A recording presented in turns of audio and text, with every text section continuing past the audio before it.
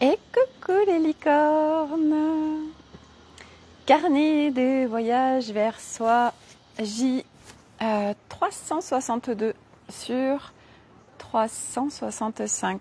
Waouh Dans trois jours, euh, c'est euh, j'ai fait mon, mon, défi live, c'est impressionnant.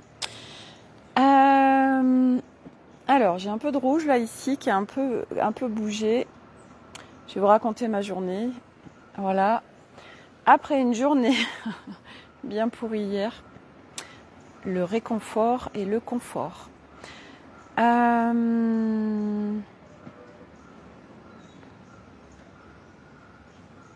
Je suis en train de profiter du paysage.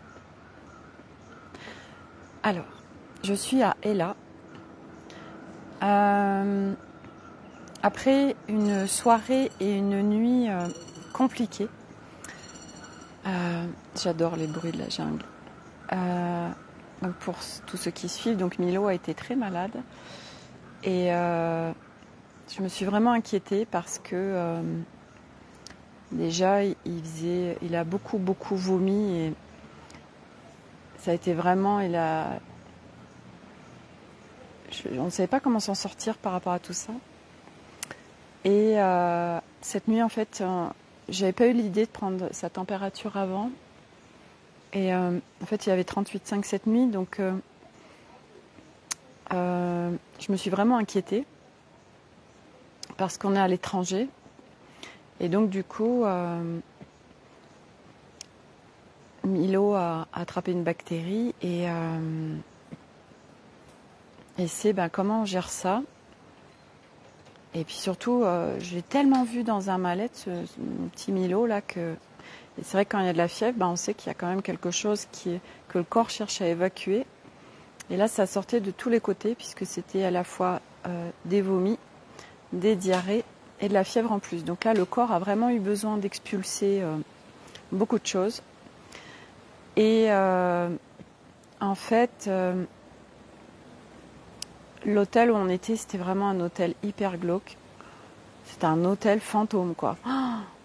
Vraiment, euh, j'ai pas du tout aimé. Et bon, euh, je voulais pas euh, enfoncer encore plus Arnaud qui, qui se captait bien que c'était pas un lieu idéal.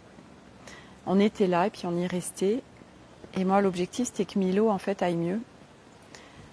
Et euh, hier soir, quand on a dîné, alors par contre, on a très bien dîné, mais c'était hyper glauque. Il y avait personne et c'était tout noir. Enfin bref, vraiment, euh, oh, c'était horrible. Bon bref. Et euh, cette nuit, du coup, euh, je fais un, un post. Quand est-ce que c'était? Hier soir, dans la nuit. Je ne sais plus quand est-ce que c'était où je demande de l'aide. Je demande, voilà, Milo. Donc je m'inquiète. J'ai mon mental qui prend le lead et qui commence à s'emballer en se disant ça, ça, ça, ça va pas en s'améliorant avec Milo. euh, Et puis là, maintenant, il a de la fièvre. C'est vrai que moi, tout de suite, la fièvre, ça m'a fait peur. Et euh, du coup, j'ai fait un post sur euh, le groupe privé euh, du road trip. Et j'ai demandé, en fait, j'ai expliqué ce qui se passait avec Milo.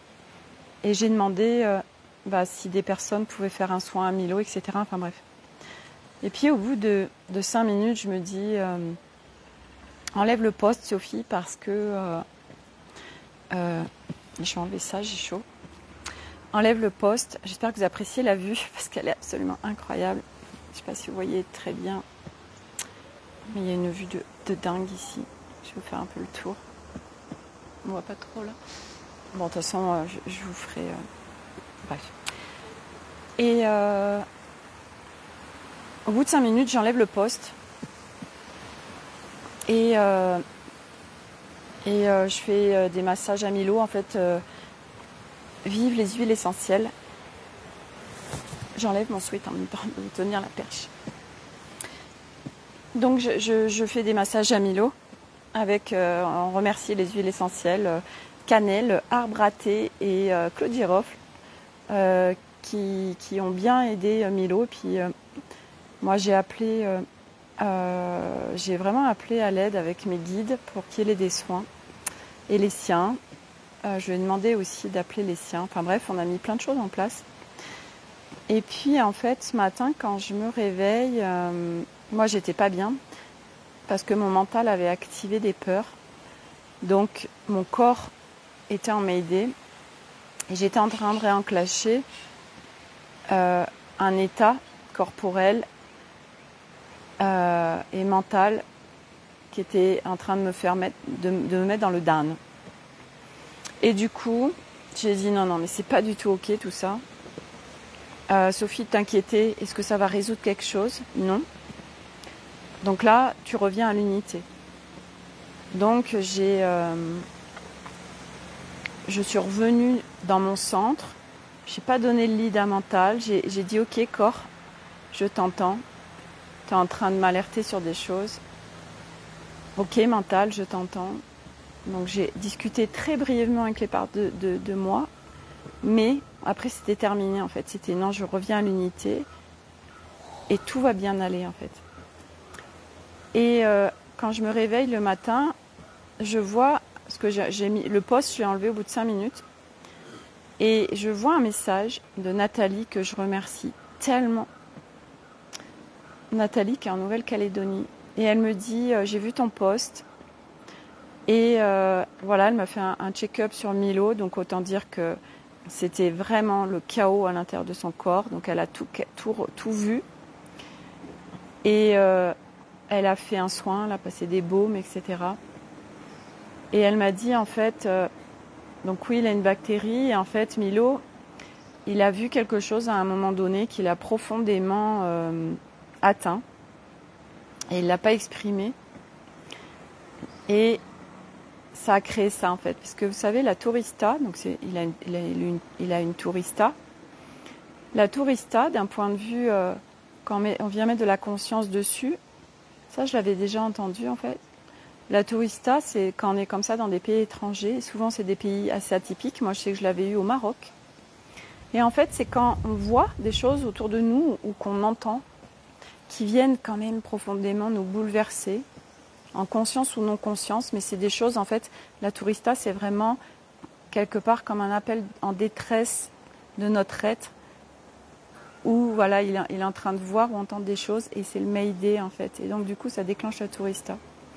Parce qu'on sait bien que, d'un point de vue holistique, global, quoi qu'il se passe avec le corps, une bactérie, euh, je veux dire, euh, euh, jusqu'à présent, on a tous mangé la même chose, on a tous fait la même chose, et alors, euh, il y en a qui pourraient dire oui, c'est une question d'immunité, mais non. C'est vraiment quand on doit passer par quelque chose, quand le corps signale quelque chose, bah, qu'est-ce que, c'est quoi la racine et qu'est-ce qui se passe? Et je peux comprendre complètement parce qu'ici, au Sri Lanka, on peut régulièrement être atteint par un certain nombre de choses. Et, et moi, pour ceux qui suivent mon périple depuis le début, euh, j'ai vraiment eu des pertes de repères intenses et ça a été très compliqué pour moi. Et euh, voilà. Donc ça, c'était le, côté euh, euh, mettre de la conscience et surtout un grand merci à Nathalie qui m'a beaucoup aidé. Et en fait, le matin, du coup, Milo avait plus de fièvre, donc elle avait fait le soin pendant la nuit. Et après, je remercie aussi Sarah qui est infirmière et qui travaille dans un hôpital et qui m'a qui m'a bien soutenue aussi par rapport à Milo m'a donné plein de conseils. Et euh, voilà, donc ça c'était l'épisode Milo, mais ce matin c'est bon, il vomit, c'est plus. Et il a mangé pour la première fois sans rejeter l'alimentation. Et en fait, on s'est posé vraiment la question ce matin. On avait trois options possibles. Milo, fallait qu'il se repose.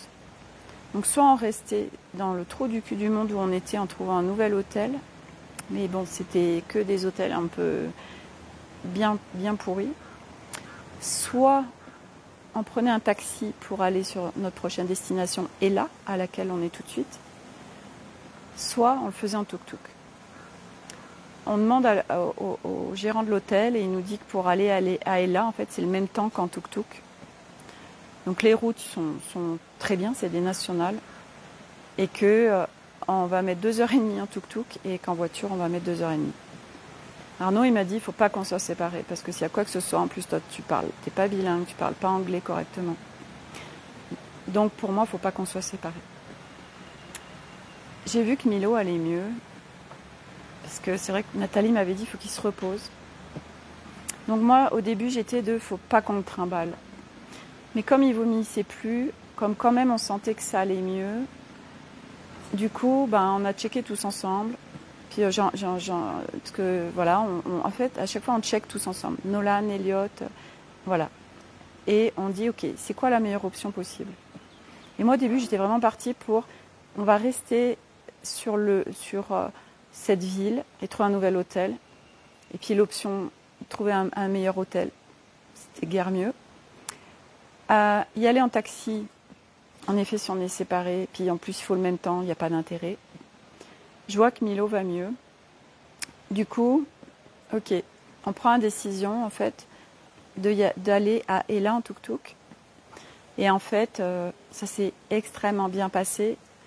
Et euh, donc on est parti.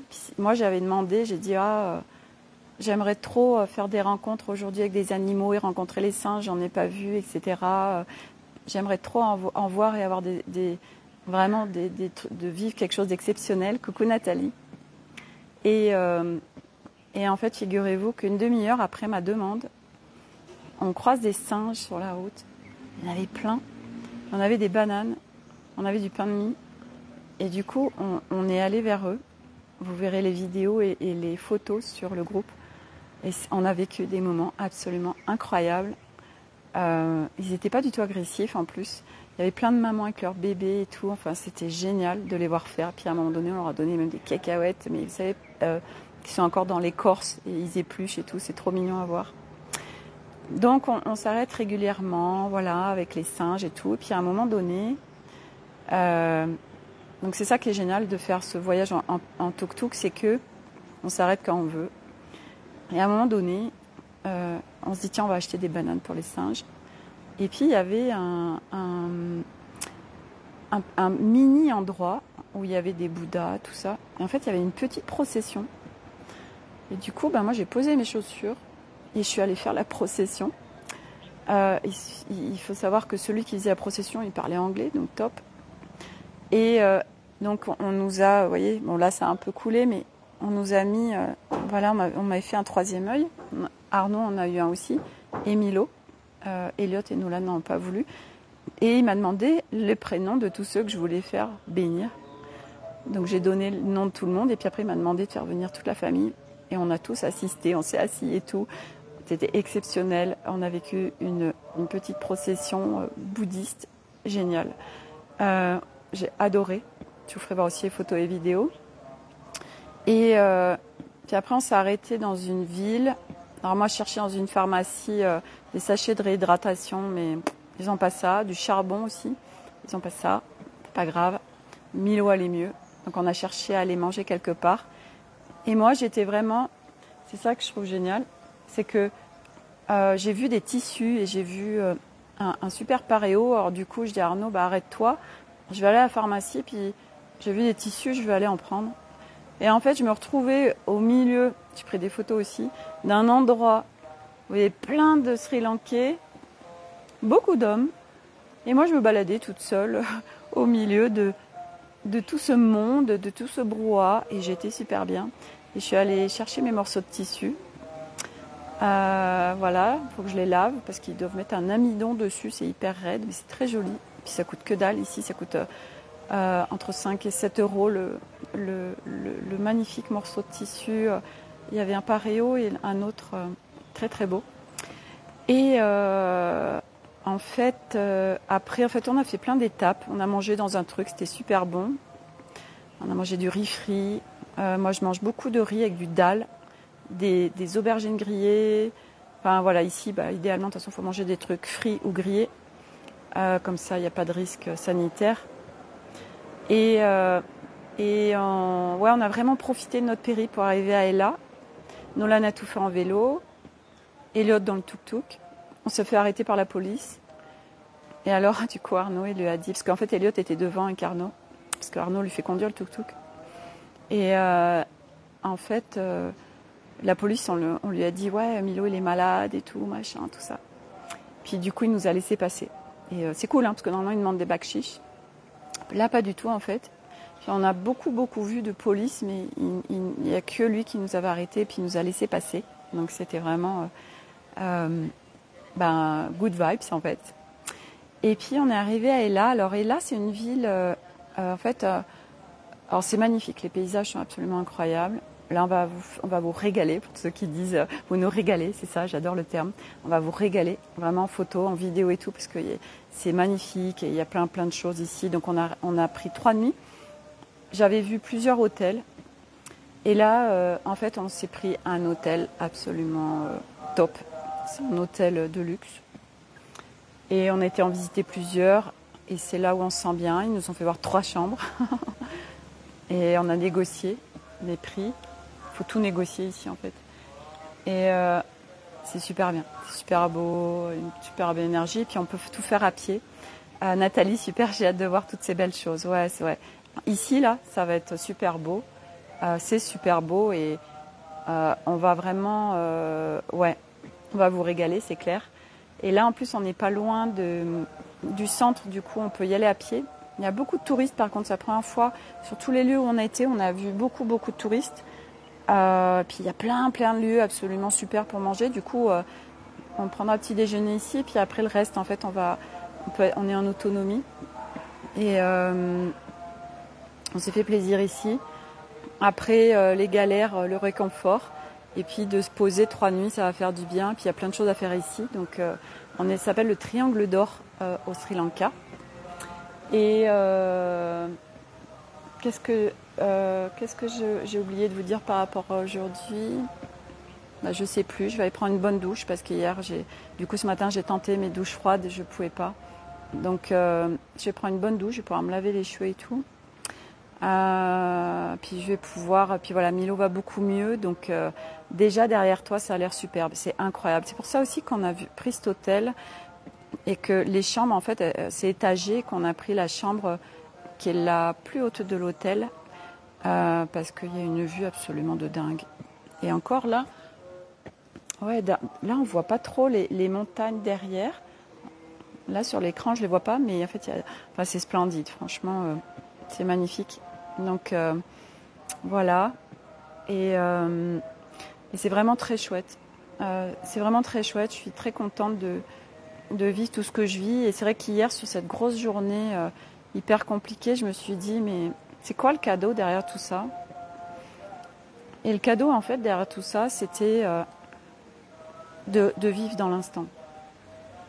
Et c'est vrai que quand son enfant est malade, comme ça à l'étranger, quand il vomit, quand il a de la fièvre, quand il a de la diarrhée, ça fait flipper. Parce que vite, on va dans des scénarios euh, catastrophes. Mais en fait, ça reste des scénarios. Et euh,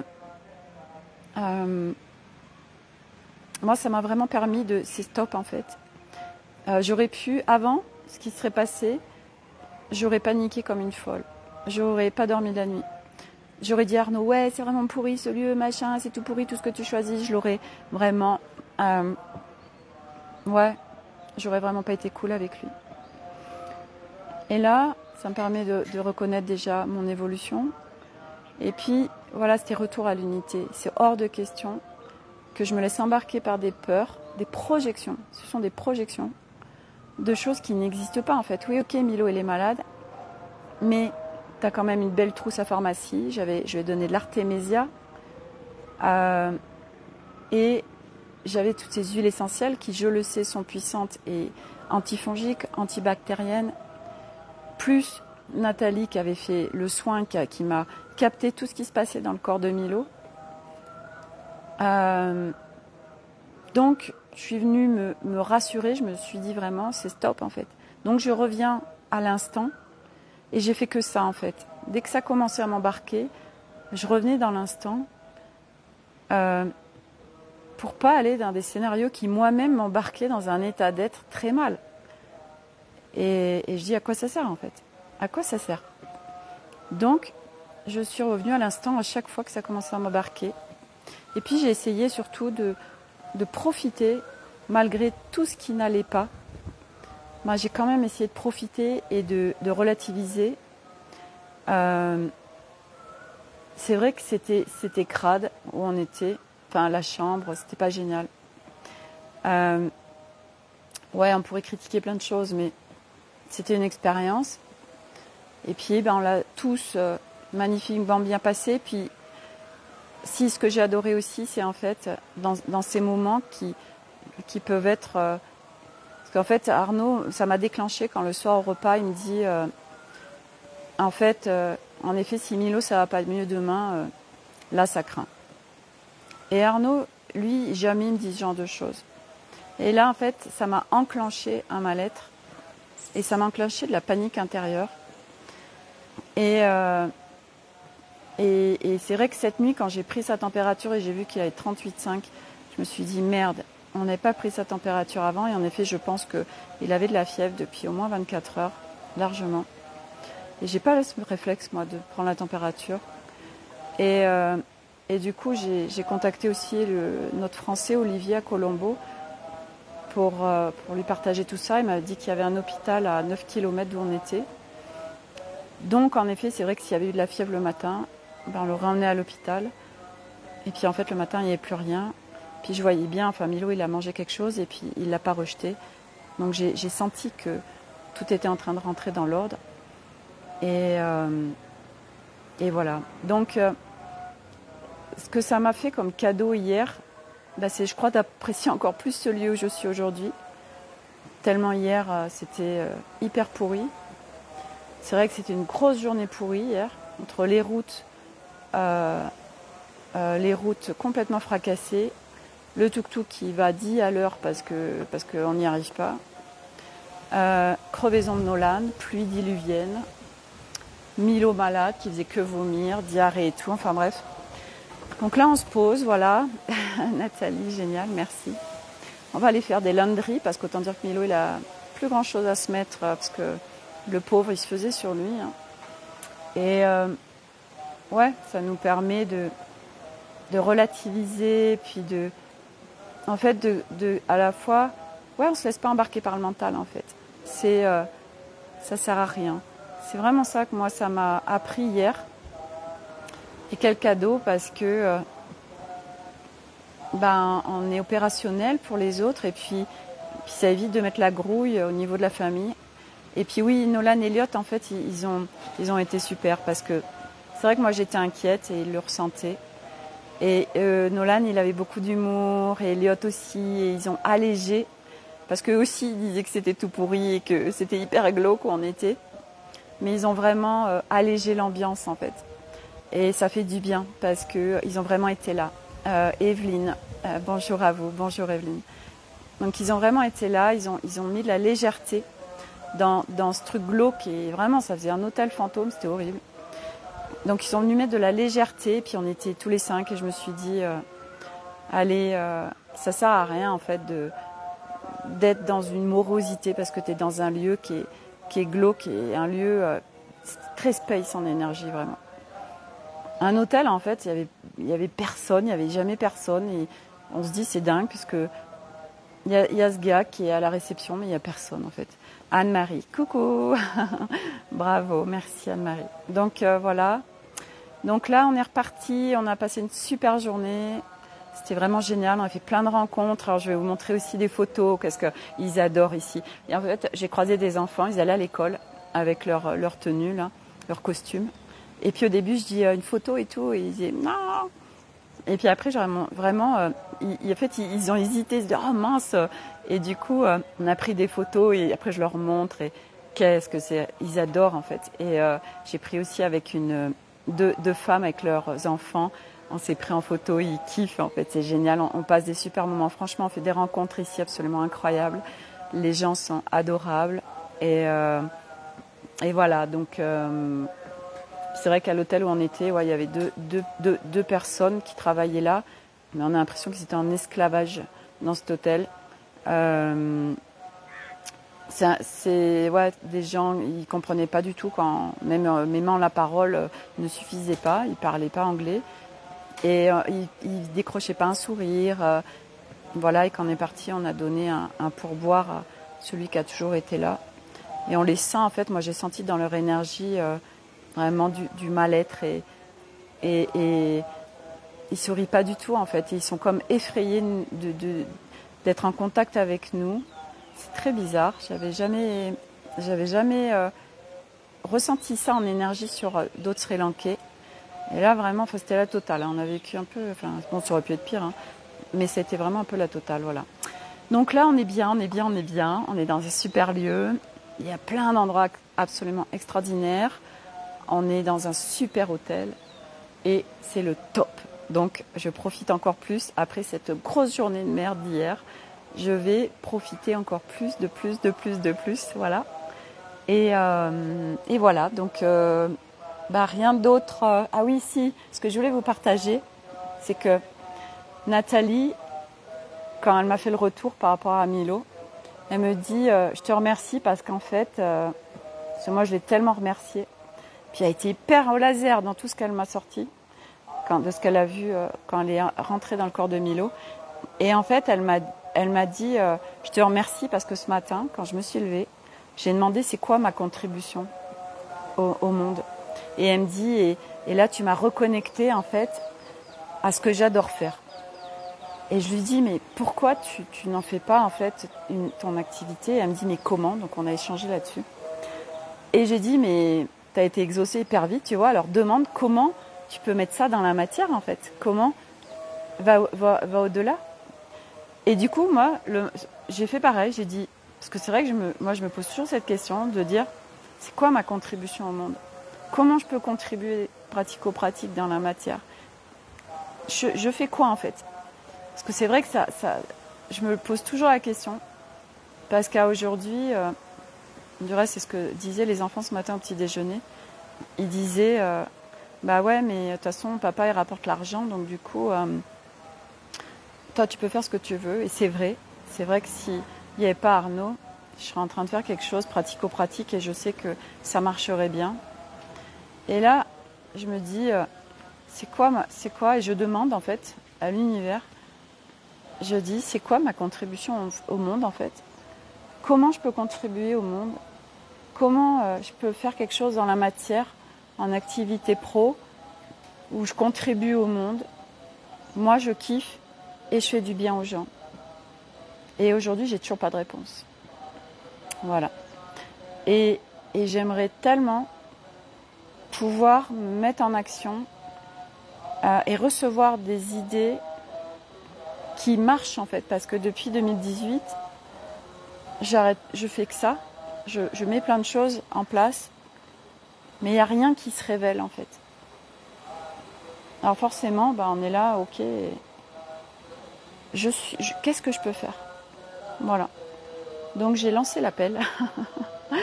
Et puis bon, avec toutes les bénédictions qu'on a ici, euh, je crois que je vais être bien entendue. Voilà. Donc euh, voilà, envoyez-moi des idées, envoyez-moi ma contribution au monde, quelque chose que je peux mettre pratico-pratique dans la matière, que je m'éclate et que, et je puisse contribuer au monde en même temps. Voilà. Je termine ce live là-dessus. Je remercie tous d'être là, en live ou en replay. Euh, et puis ben, demain, de nouvelles aventures qui vont être juste géniales, j'en suis sûre. On peut pas être autrement. Et, euh, moi, je vais aller prendre une, bonne douche. Et puis après, euh, voilà, puis on va se faire faire des massages parce que franchement, les prix ici sont dérisoires. Ça coûte 4000 roupies pour un massage intégral d'une heure. 4000 roupies, ça fait 1000, euh, c'est 3 euros. Euh, donc ça fait 12 euh, euros. on va en profiter. Voilà. Les enfants, ils attendent que ça. oui, quand est-ce que vous allez faire des massages? Comme ça, on peut faire des écrans. Voilà. Donc, massage, bien-être. Voilà. Moi, j'ai plus mal en bas du dos. Formidable. Ça veut dire que je n'ai plus d'insécurité à l'intérieur de moi. Et c'est absolument incroyable. Voilà, Claudine, merci pour ce, ce, partage. Bon massage. Je ne sais pas encore quand est-ce qu'on va faire les massages. Je ne sais pas, on va voir. Mais euh, oui, on va bien en profiter, ça c'est sûr, surtout au prix où c'est. Euh, ouais, puis ah oui, ils font des cours de yoga aussi. C'est pour ça aussi que j'ai pris cet hôtel. Demain à 8h, je vais aller faire un cours de yoga. J'adore. Voilà, ça c'est vraiment le top pour moi. Voilà, yoga, on mange super bien, euh, on est bien, il y a un paysage de fou, euh, on passe des super moments. Oh là là, c'est formidable, voilà, tout est parfait. Voilà. Donc à demain pour un nouveau live.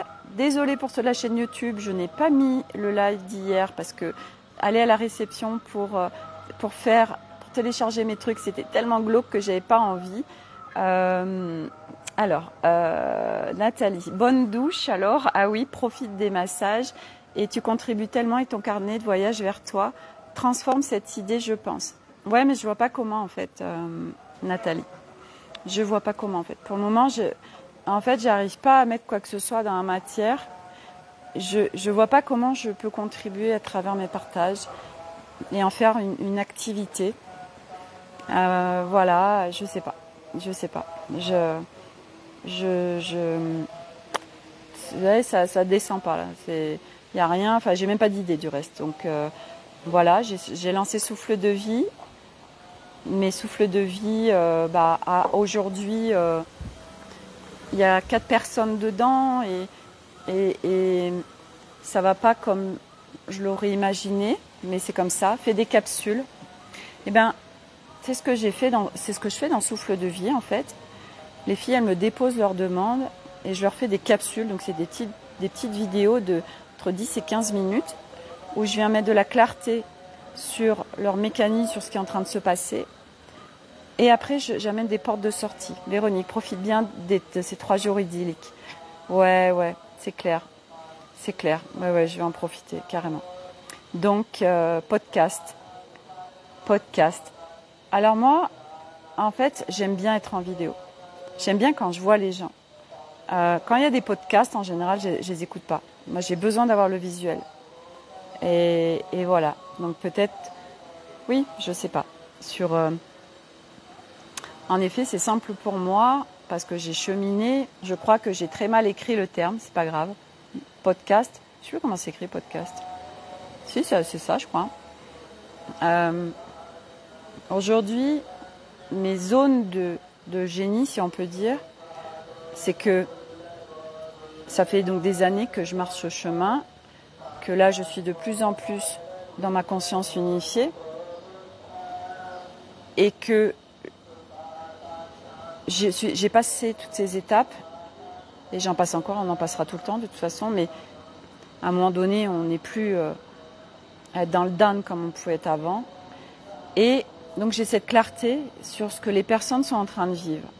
Et c'est très facile pour moi d'expliquer avec des mots faciles, avec légèreté, et puis d'amener des portes de sortie, du pratico-pratique.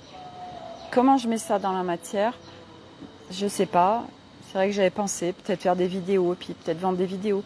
Mais moi, j'aime bien l'interaction aussi, en visuel. Oui, mais tu sais, moi, j'aime bien être en interaction aussi. Tu vois, ce que j'adore là pendant les lives, moi, tu me fais faire une vidéo. J'ai pas la même énergie sur une vidéo où j'ai personne en face de moi que si, si j'ai des personnes en face de moi. Il y a une reliance qui se fait quand on est ensemble. Moi, je le sens et, et, et ça, me, ça me porte et, et on est en échange, tu vois, qu'une vidéo, c'est toi et toi, et il n'y a pas cette, même énergie. Et moi, j'ai besoin, moi, je, kiffe vraiment à, échanger. Tu vas trouver. Oui, bah, de toute façon, euh, je veux dire, euh, ça va bien tomber à un moment donné, hein, j'espère. euh, moi, je kiffe être en reliance forme interview. Ouais, ça, j'adorerais. Interview, j'adorerais. Et, voilà, moi je kiffe la reliance, l'échange. Je suis faite pour ça. Mes zones de génie, c'est je sais organiser, je sais être en reliance avec les gens, je sais être euh, en proximal avec les gens. Je sais que j'ai cette capacité à vraiment, euh, puis encore plus maintenant que je me suis, je me suis allégée et que, que, que je connecte mon être unifié de plus en plus. Moi avant, je ne savais pas aller vers les gens. J'étais une vraie sauvage. Aujourd'hui, c'est hyper facile. Moi, je, me mets au contact de n'importe qui et, j'adore discuter. Je vais à la rencontre des gens facilement. Ça, j'étais incapable de le faire avant. Et c'est vrai que je sais que j'ai cette capacité de pouvoir euh, mettre les gens aussi en reliance. De voilà. Il y a plein de choses en fait. Il y a plein de choses que je sais, mais je sais pas quoi en faire en fait. Voilà. Donc demande surtout le moyen. Ouais, c'est ça. C'est ça. J'ai plein de capacités, mais je ne sais pas quoi en faire. J'ai mes champs de l'âme. Euh, donc c'est des soins de guérison. Euh, j'ai plein de choses en fait. c'est incroyable, je suis multipotentiel, j'ai plein de choses, mais je ne sais pas quoi en faire. C'est incroyable quand même. Alors je sais pas, peut-être qu'à un moment donné, euh, quelque chose, voilà, ça va être. En fait, c'est ça, parce que pour moi, quand on est vraiment dans notre truc, vous savez, c'est l'évidence. C'est ah, c'est ça, et je kiffe et tout ça. Et là, ça fait un moment en fait que j'arrive pas à avoir d'évidence. La dernière que j'ai eue, c'est sur souffle, souffle de vie.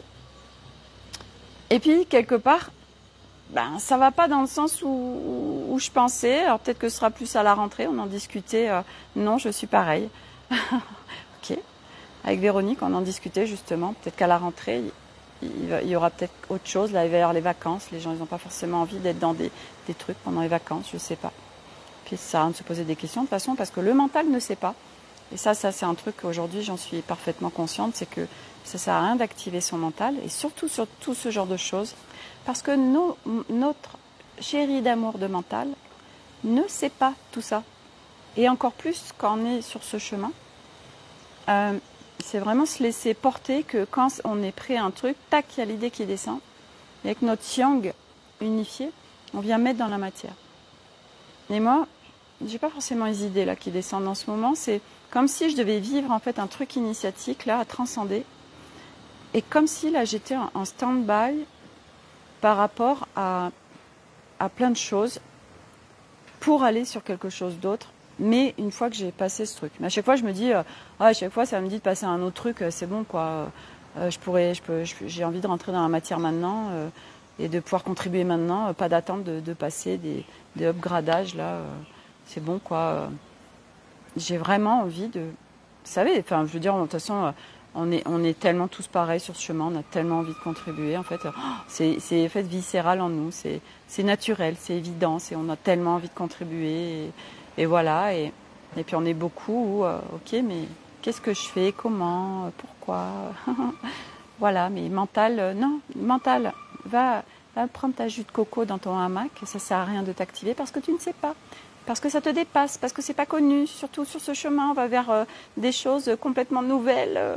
donc tu ne peux pas m'aider. Tu peux m'aider si sur des petites choses, mais pas du tout sur sur euh, sur tout ce qui ce genre de choses qu'on peut mettre en place. Ça peut pas marcher. Donc voilà. Voilà, voilà. Bon, bref, ça c'était le, le, côté, mais bon, je sais que ça parle aussi à beaucoup ce côté professionnel. On est beaucoup à, à chercher.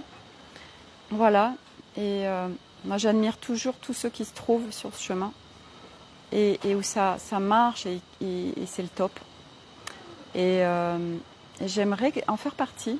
J'aimerais euh, pouvoir trouver un truc qui match, euh, que je kiffe de ouf et, pouvoir le déployer et, que ça vienne contribuer à un maximum de personnes. Voilà.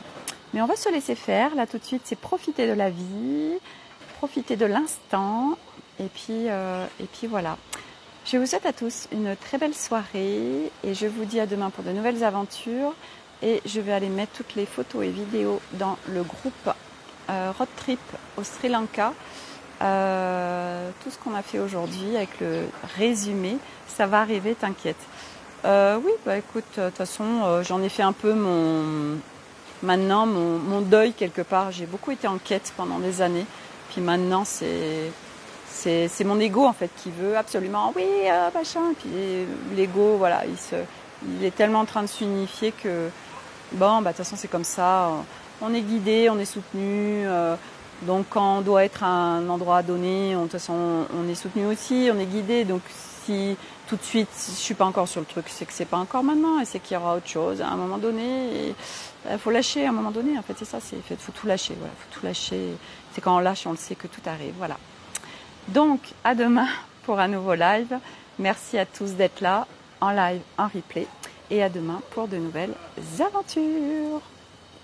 Bye, voilà, c'est ça. Allez, bisous à tous et à toutes. À demain. Bye, merci encore.